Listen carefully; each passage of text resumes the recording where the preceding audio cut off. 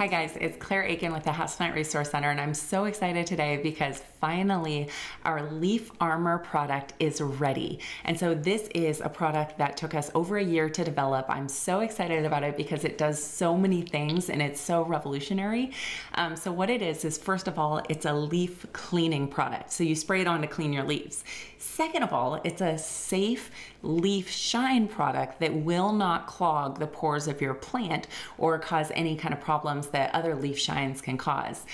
Third of all, it protects your plant and it does so in a few different ways. And so, first of all, it protects it against funguses, bacteria, and insects. And so you can use it as a natural insecticide, fungicide, and to protect your plant against bacteria.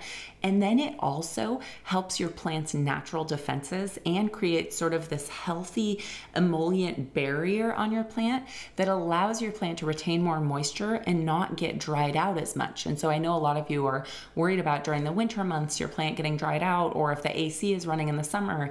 This helps your plant to retain moisture and really protects it and protects and enhances its natural defenses. And so what you do is you mix a little bit um, with a spray bottle, you spray it on your plant, and um, if your plant's really, really dirty, what I would do is I would just shower off your plant first to get some of the big dust and debris off, and then you just completely wet the leaves of your plant. You can spray the um, kind of the soil, you can spray the underside, just spray your whole plant, let it dry, and it protects your plants for two to three weeks, and it really gives you a really cool shine. And so I'll insert a picture of a before and after, and that's kind of the leaf shine property that I know a lot of people love. And so you can use this as a cleaning agent, as a leaf shine, and as a leaf protectant. And it just really is a um, natural, healthy way to protect your plant. It is derived from shellfish and yucca plants. And so it's all natural, it's completely safe, non toxic, and it's just an amazing product. We're so excited to have it. We hope that you enjoy it. Please take before and after pictures of your plant and share them with us, and we'll be doing a giveaway.